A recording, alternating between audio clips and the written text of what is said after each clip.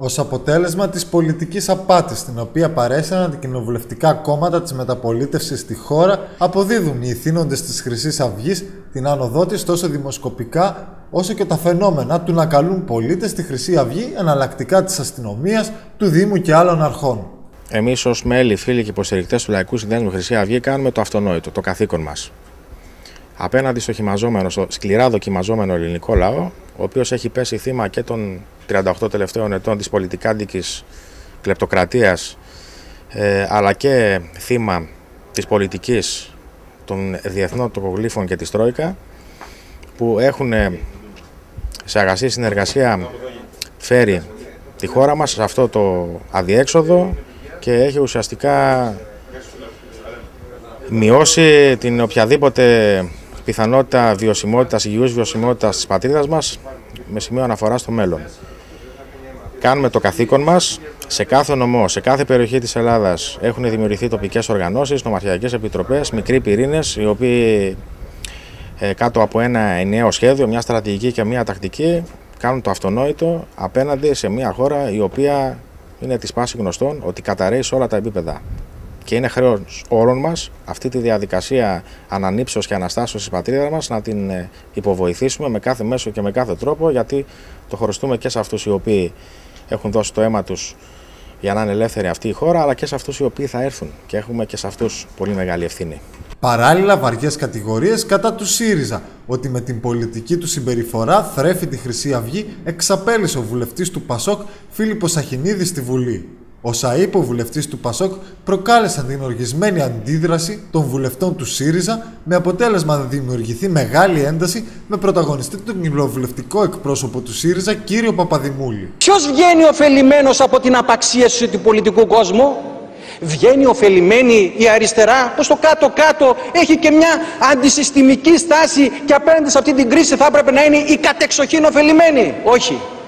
Ωφελημένη από όλη αυτή την αμφισβήτηση του πολιτικού συστήματος βγήκε η άκρα δεξιά στην πιο άγρια νεοναζιστική εκδοχή της.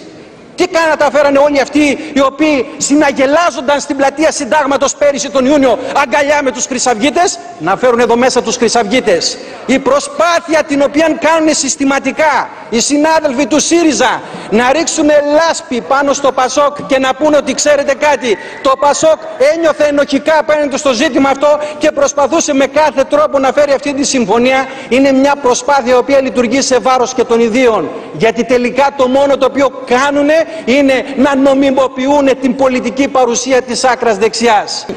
Αν ήσασταν παρόν δεν θα γινόταν αυτό. Κύριε Πρόεδρε, υπάρχει προσβλητική για το ΣΥΡΙΖΑ αναφορά του κυρίου Σαχινίδη που καταλαβαίνετε ότι για λόγους τάξης και πολιτικής και ηθικής και κοινοβουλευτικής Άρα επ' αυτού απαντήστε, όχι στον Υπουργό και όλα τα σχετικά που μου λέτε. Ζητώ το λόγο για ένα λεπτό. Γι' αυτό σας ρώτησα γιατί θέλετε το λόγο. Είναι Και μου είπατε για να απαντήσετε στον Υπουργό. Όχι, όχι, όχι, μην τα αλλάζετε. Μου είπατε να απαντήσετε.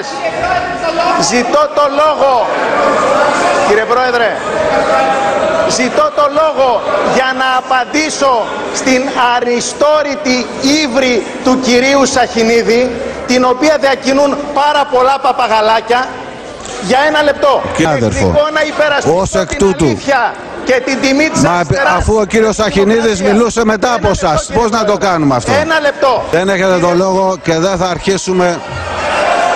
Τι να- Από πώς με φωνάζετε. Σας παρακαλώ καθίστε κάτω.